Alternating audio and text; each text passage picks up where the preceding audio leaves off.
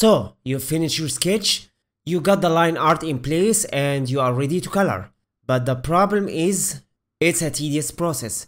Did you know Krita can do this on your behalf? All you have to do is mark the coloring regions of your line art with the colors you want, hit update when done, and voila! The algorithm will automatically do the heavy lifting for you. Sounds fun? Then stick around and let me show you how this ingenious technique works. It's perfect for comic artists, illustrators, and anyone who wants to save valuable time on coloring.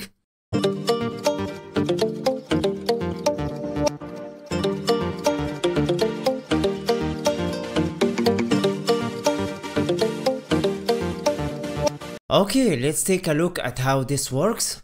This is a drawing I made of a kitchen knife from a previous tutorial. Links are in the description box if you are interested in how to draw this. Also, the recording of this lesson will be a screencast instead of over the shoulder this time. I'm hardly using my pen in this scenario, using a mouse instead. So, camera recording is pointless here. Besides, screencast quality is far superior. I'm going to record with OBS, you can watch this in the best quality possible. If you have been watching my lessons so far, let me know which you enjoy more. Over the shoulder, seeing me drawing while holding a pen, or the standard screencast, maybe both, with an over the shoulder thumbnail in the corner, similar to the streamers you see on Twitch. Now for this to work, there are a couple of conditions your line must meet. 1. Your line art has to be on its own transparent separate layer. 2. Your line art should be clean and consistent. 3. Absolutely positively no leaks. If you are concerned about the presence of leaks, you can test for leaks with the bucket tool like so. Let's undo that. Now suppose there is a leak here. That is what's going to happen. That's what we call a leak. Colors have leaked outside the confines of its coloring area, as the name suggests. And that's precisely why you don't want any leaks, gaps, holes or any sort of opening in your line art, otherwise the process will fail. You can still color in stuff manually, but it's going to be tedious. And that's the whole point of this video, right?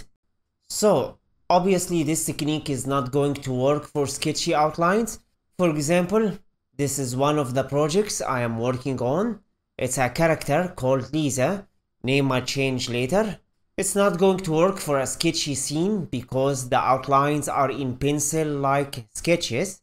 If I zoom in, you can see there are a lot of pores, holes, and openings. Unless I redraw this in a closed line art form, this technique won't work. So, like I said, this technique is mainly meant for comics and illustrations. Be aware of that. With that out of the way, let me show you how you can apply this to your illustration to activate colorize mask, which is the name of the technique and the star of the show. Select your outline layer first, then click the colorize mask tool, go to the tool options to verify the tool is selected and you should see a box that looks like a sort of checkerboard. The mask is not active just yet though. First of all, make sure you're using a solid brush, otherwise this will not work. I typically use the basic 5 brush. I want to color in the blade surface, so I'm going to mark it with gray. The handle, I want it to be brown, so I will place a brown mark right here.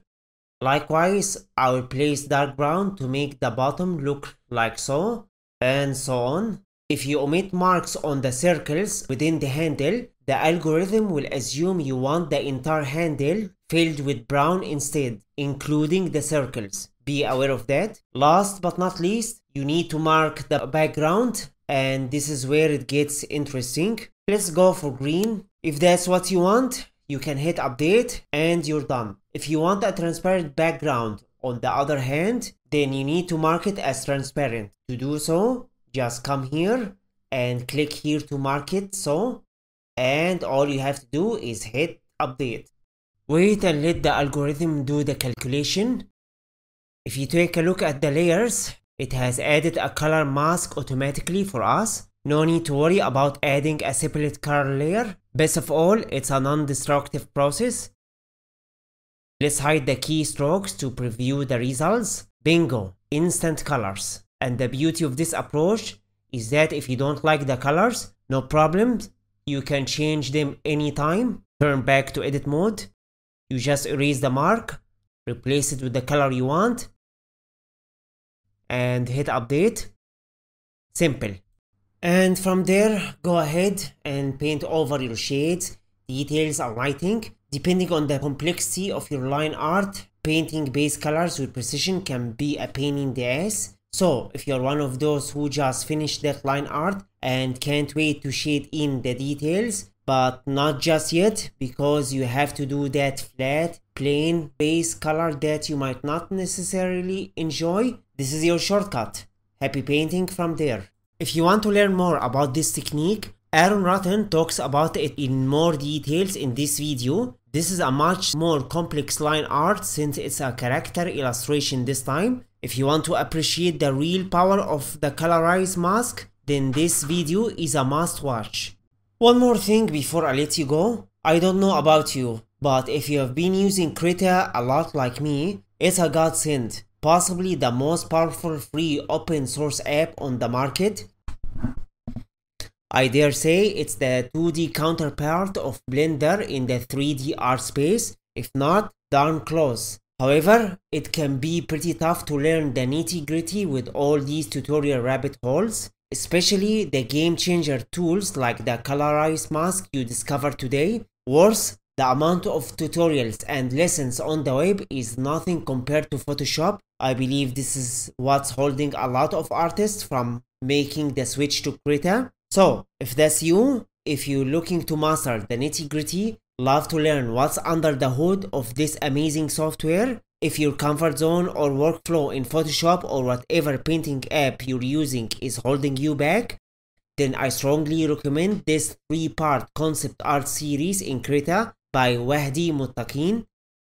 This bundle through practical examples, project files, and projects at the end of each section will teach you not only all the tools and techniques you wished you knew earlier, but also the foundation of concept art, from the sketch phase, line art, all the way to shading, lighting, and details. You'll even learn how to create your own brushes in advanced parts, layer techniques, and tons of hidden tricks you won't find on the web that will save you an incredible amount of time in your workflow, like the colorized mask you discovered today. And hey, this comes from a man who went through this course myself. I'm not pitching you this for just the usual self-sponsoring reason. Here is the proof. Let me show you a clip I recorded while I was doing the X illustration project from the course. If you've been following me on my socials, the equipment and the hand might sound familiar. Full disclosure, I discovered the colorized mask in this course while doing this X. The same technique I used for the cane tutorial and the previous uh, lesson so I can't take all the credit. Back then I couldn't draw at all. Now the results are standing in front of you. I think you can imagine how much progress I've made. If I could do it, so can you. If you're tired of the fruitless tutorial rabbit hole, frustrated from jumping from course to course to just learn the missing links here and there, then this bundle has everything you need. Don't waste any more time watching more content unless you really love to take a couple more years to figure it out on your own. The series are available on both Udemy and Skillshare. If you are busy, no problem. The first part, which is the one for beginners, is actually more than enough. But I encourage you to invest in the intermediate and advanced part if you really really want to get the most out of it. If you are a premium member on Skillshare, perfect. You can start watching the lessons now at no additional cost. If not, no problem. I've got you covered with a 30 day trial instead of the one week trial Skillshare gives you if you sign up on their website. The invitation link is in the description box. Part 1 takes you about 2 weeks to finish, even less, possibly 1 week if you are aggressive about it. The best part is you can use the same trial period to enroll in a, a ton of different courses as you can possibly imagine. Not just Widhi's series, you get an entire month to get a taste of everything you wish to learn. And hey, A lot of these Udemy courses in your wish list are available on Skillshare. If the free previews on Udemy are not enough for you to judge the course's worth, why not use the same trial period to evaluate them? If you have been skeptical for a while, this is your chance to see if they are worth your money. And after the trial, if you love to remain a premium member, great, your support means the world to me. For every sign up, I get a 60% commission if you go premium. If not, no worries, you can try Udemy. The only difference is that you will pay upfront, but you will get a permanent license to use the course for a lifetime. Either way, your support helps me continue making these videos and tutorials for free, and most importantly, helps me pursue my dream to go full time in this gig. So again, links in the description box. Have fun, happy painting, and see you in the next one.